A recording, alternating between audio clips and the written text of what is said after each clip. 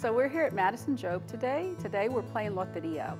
Loteria is a traditional Mexican game that is played just like bingo, except that we don't have the number balls, we have cards that have different pictures on them.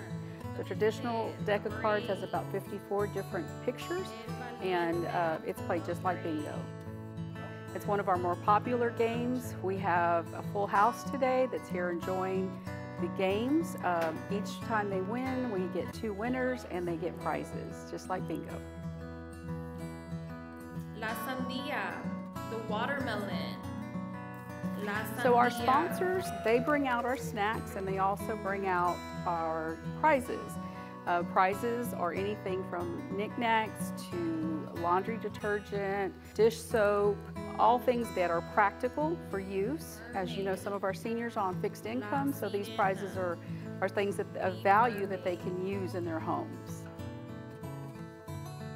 We have up to 50 people, so we have enough cards for everybody to get two cards. The heart.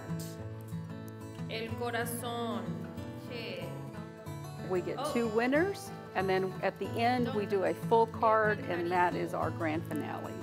Yeah, we said this was the water pitcher. So it's very competitive. Our seniors are very competitive with one another. They enjoy the camaraderie and they tease each other.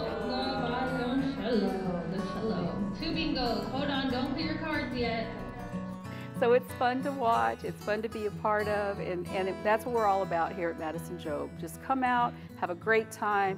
If you're 50 and over, we welcome you to come and be part of our group.